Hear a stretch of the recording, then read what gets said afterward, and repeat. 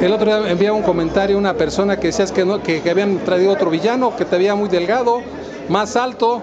Se me dice, me, dice, me, está- me están dando gato por liebre, pero por eso te estoy entrevistando para que vean que la gente que eres tú. Pues la gente puede decir lo que quiera, la gente puede decir, opinar, pero simplemente aquí están los resultados.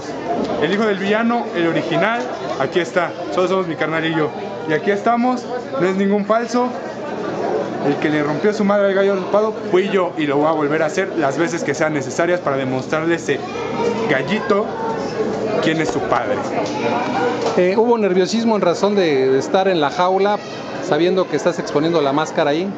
Sí, realmente como en todo es un nervio que se corre, pero la verdad, yo sabía, yo estoy enterado de mis capacidades, yo sé lo que puedo hacer, yo sé dónde puedo llegar y la verdad no le tengo miedo a nadie ni a nada, la gente lo vio hoy.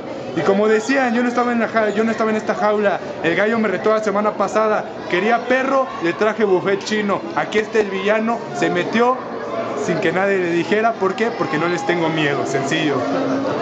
¿Vas a tener próximos encuentros, villano? Sí, próximamente voy a tener más encuentros con el gallo tapado. Dentro de 15 días vamos a la arena 23 de junio. La semana que entra vamos a Puebla.